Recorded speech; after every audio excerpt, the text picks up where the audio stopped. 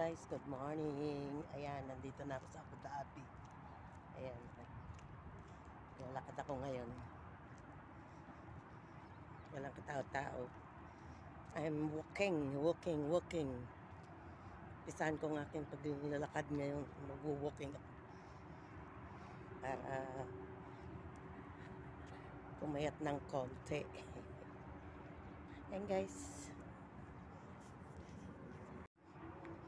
Guys, dito wala katao-tao sa amin.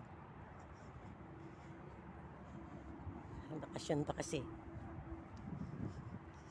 Ayan.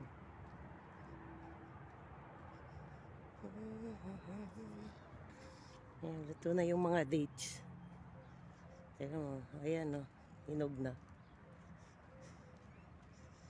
Dati, nung umuwi ako, ano pa yan, maniba lang.